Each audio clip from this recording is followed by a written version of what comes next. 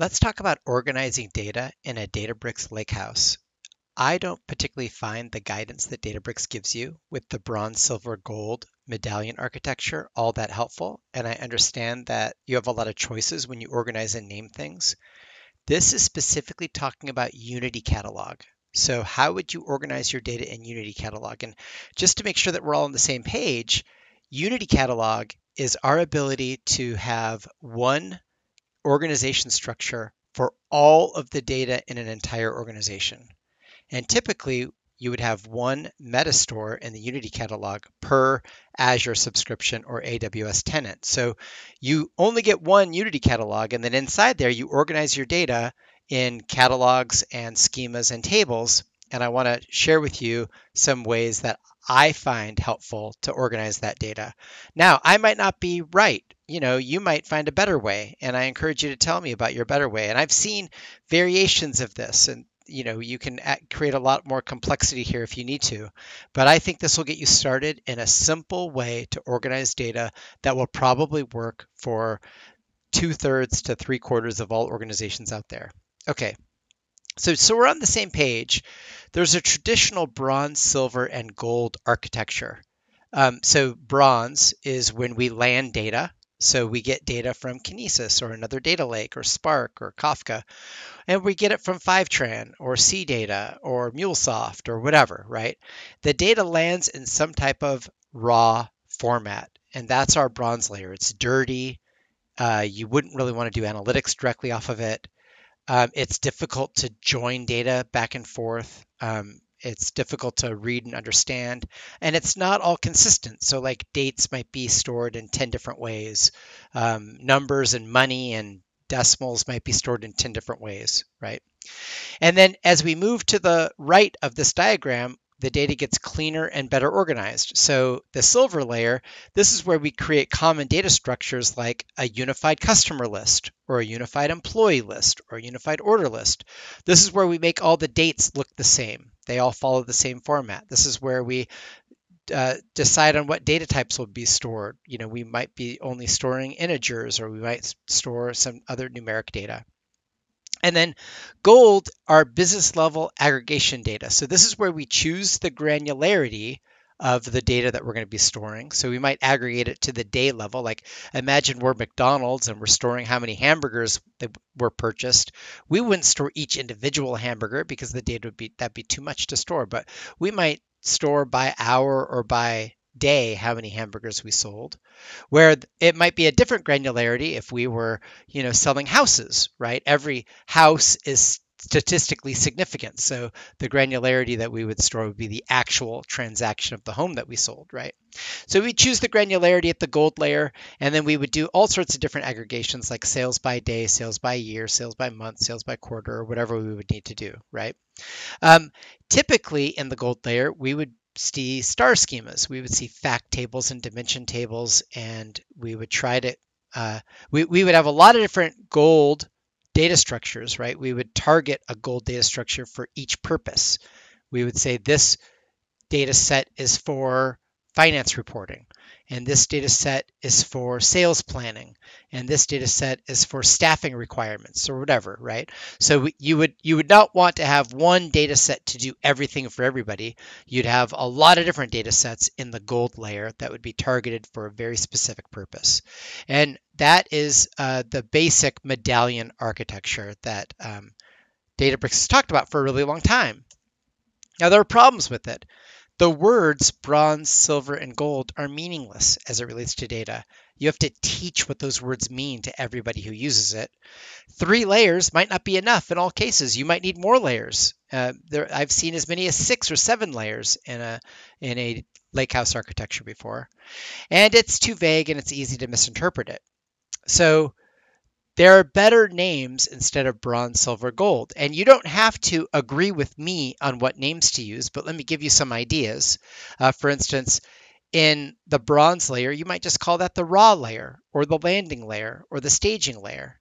And then for the silver layer, that remember silver is where we start having common data models like an employee list and a customer list.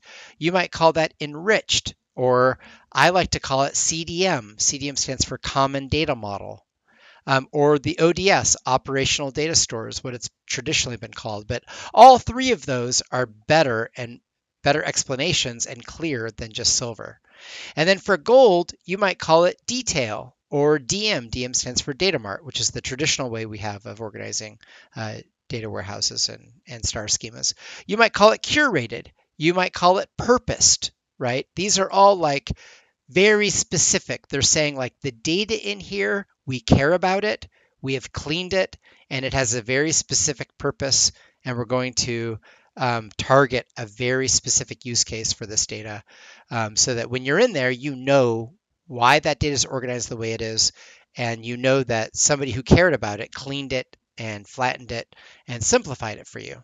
Um, now, remember, you also want to name things according to the environment that it is in. And when I talk about environment, I'm talking about development, staging, testing, and production, right? Development, where we code things, staging and testing where we share it with other people to see if they like it, and production meaning don't change this all the time because this is things that are actively being used by lots of users and they're using it all the time and we need to be careful, have a very methodical way of getting things from development all the way through the pipeline and into production so that it's being used. So you need to account for that when you name things and I'll show you a way to account for that. So remember what we're naming here, we're naming catalogs, we're naming schemas, and we're naming tables. Now, the Metastore exists for the entire Azure sub or AWS tenant. So you only get one of those and you don't really name it, right? The catalog is like, you know, analogous to a database. Um, although traditionally we've used schema as analogous to database. But so catalog is the big thing. You could have many catalogs. Um, schemas, you can have a lot of different schemas. And then underneath schemas, you can have obviously tons of tables and views, right? And we can name all those things. So here's the first bad practice, and that is putting all the tables into one schema and naming the tables dev, stage, and production, and naming the tables raw and CDM and data mart. You get these really long table names you get thousands of tables, so it's almost impossible to figure out, you know, where the data you care about is is in. And and it's really confusing to the users. And if a developer names something incorrectly, it becomes even more challenging to figure out where things are. So I think that's a terrible practice. It's just very difficult for the users and the developers. Bad practice number two is failing to think about your deployment pipeline. So remember when you deploy code, you're going to target an environment as it relates to data. So you're going to target target your dev environment or your staging environment or your production environment. If you put the word dev in your schema or in your tables, you're going to have to use variables to name those things and get it right all the time. And it becomes a lot more difficult, in my opinion. So I'm going to recommend against you putting the words dev, staging, or production in the schema or the table name. Um, I would keep the environment names to the bare minimum if you can get away with it. So that brings us to the catalog naming guidance. The actual top level thing, I think you should name those catalogs development, staging, and production, and that's it. Just name them after the environment. That's it. So that's what you're going to name the very top underneath the Metastore the next thing you can name as a catalog, just development, staging, production.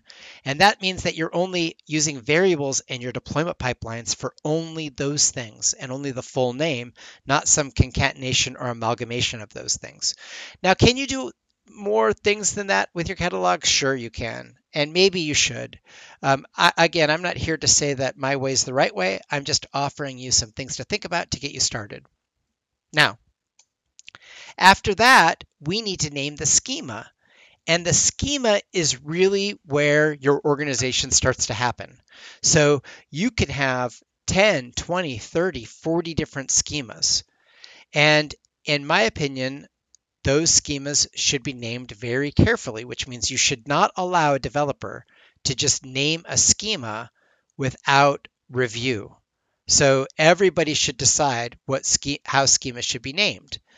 Um, and I'm going to talk to you about naming schemas in the raw layer that was the bronze layer, in the CDM layer, which is the silver layer, and in the gold layer, uh, which which we call the data mart layer or maybe the star layer. I'll show you different names for those things in a second. Okay. So in the raw layer, formerly the bronze layer, I think you should name the schema raw underscore. So again, your catalog is going to be development, staging, production, whatever you need for your different environments. You guys choose what your environments are. And underneath that, you're going to see schema, and you're probably going to see pretty much the same schema in all three catalogs, right? So for raw, you would name it raw underscore and the name of the data source that the data is landing in. So it would be raw Salesforce, raw ServiceNow, raw HubSpot, raw whatever, you know, Workday or, you know, PeopleSoft or Dynamics or whatever your data source is, right? And then inside, underneath there, you're going to have a whole bunch of tables. Those tables should look the same as they did in the original data source, meaning you should not clean or organize anything in any of your raw schemas. So the raw underscore Salesforce tables will look the way the data looks when you pulled it from the original API.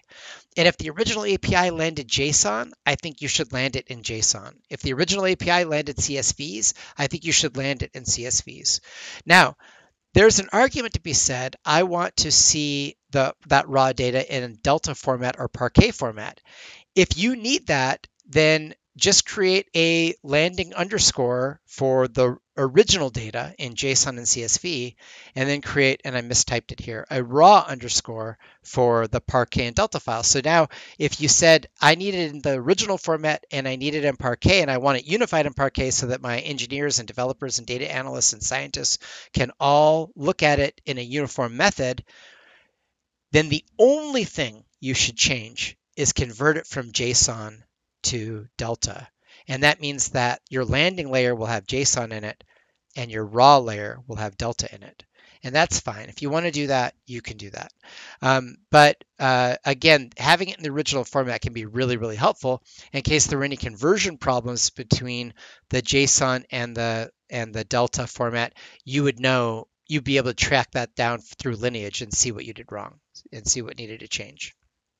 Okay, so th- what they used to call the silver layer, I like to call the common data model. And the reason why I like that is that common data model gives us the illusion of the adapter pattern, right? Like if the raw data is coming in in a format and star schemas are how we're ultimately consuming it in our reporting layers and in our aggregate models, then that middle model, the common data model, kind of shows that I'm just organizing the raw lightly so that I get some common structures that I can use over and over and over again um, as I adapt it toward the star schema. Now, why do we need a common data model? Well, remember, our star schemas are focused for each specific purpose.